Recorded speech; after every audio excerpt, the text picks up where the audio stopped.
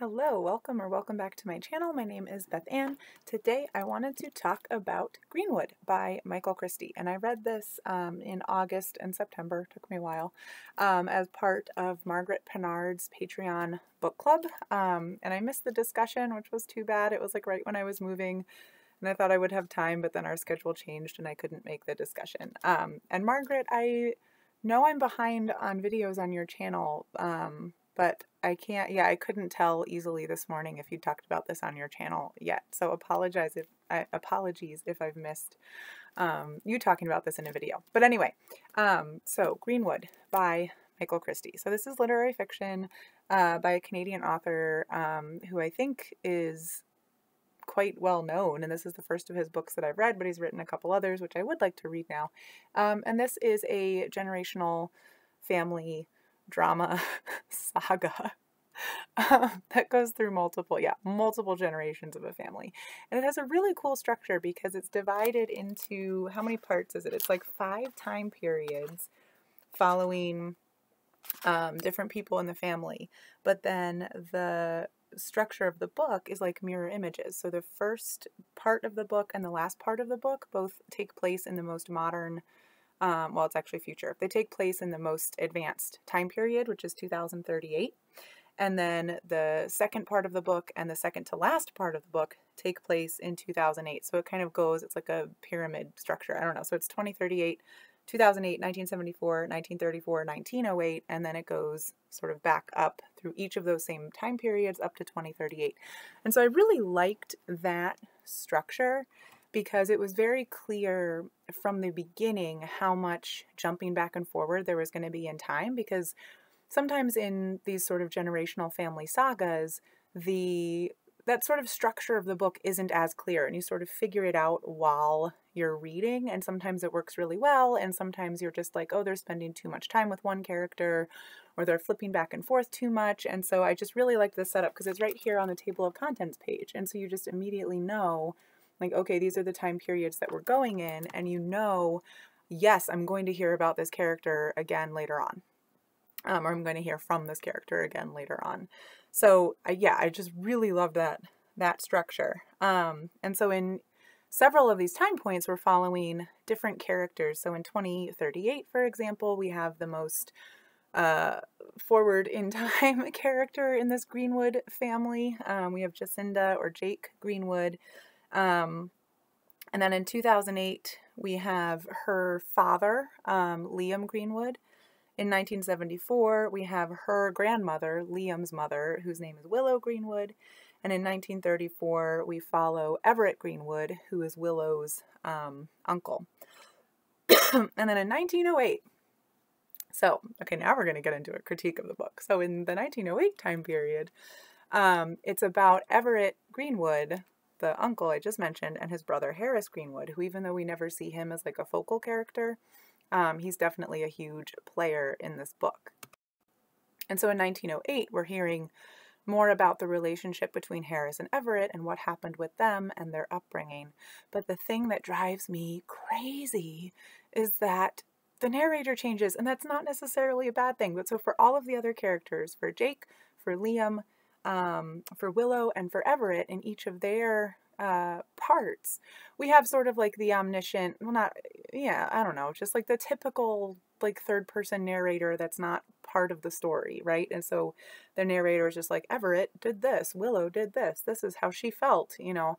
And then in the 1908 portion, it switches to um, a character that's writing uh, or a group of characters that are writing from their own standpoint and they're telling the story of what they observed for Everett and Harris's Harris Greenwood's childhood.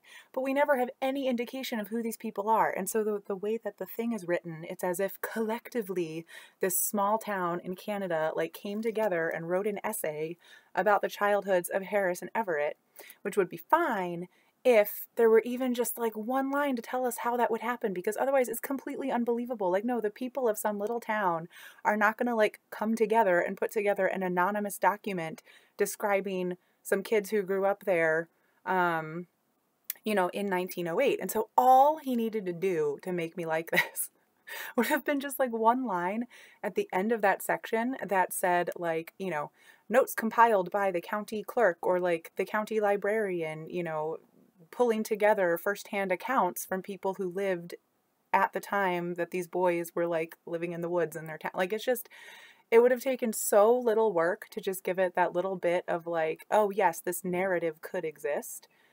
That just drove me crazy.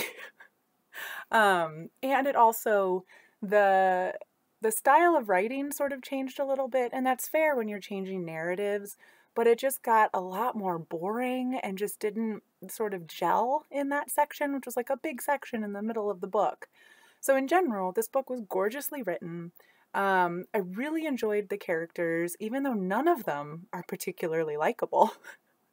but uh, you know, you feel for them in various ways. Um, and uh, and one Everett Greenwood um, sort of the the misunderstood, maligned uncle um, who'd gone through a lot. I did sort of feel some empathy and sympathy with him.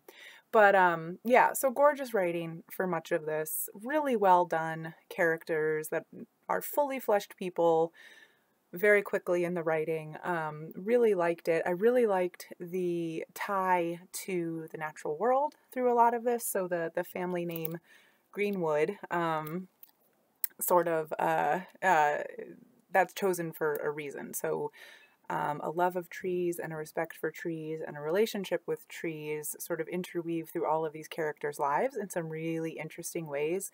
Um, and that covers a lot of like uh, sort of really interesting social divisions because we've got the hippie environmental tree hugger who doesn't want trees to get chopped down. Then we've got these other people like Harris Greenwood who um, who really loves and cares for trees, but also really highly values and prioritizes their utility and their financial value. And so he makes a living as a lumber businessman. So um, anyway, so I, I, really appreciated that and sort of all of the different angles of the environmental movement and the idea of stewardship for the earth and everything that it touches on. Um, using that as sort of a uh, this like family connection to trees and forests um, as sort of a, a touch point throughout the story. So it was really cool. So it was gorgeous. And if it hadn't been for that middle section, this might be a five star book for me, but that middle section by the like weird you know, and it just, it could have been, so I said, like, it could be the county clerk or the county librarian. It could have even just been the family across the road who's, who's like, well, we just sat down and, like, made these notes because one of these guys ended up being really famous. Totally believable.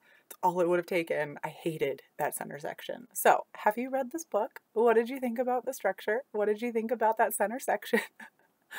What did you think about how it all got tied together? I have not gone very much into plot because it is such a family generational saga that all of the plot points are things that really matter. um, so I haven't, yeah, I haven't really wanted to go into that. But if you want to delve into things you liked or didn't like um, in the plot or other aspects of this book down in the comments below, I am totally game. Um, so anyway, Tell me what you thought if you've read it. And If you haven't read it, are you interested in reading it?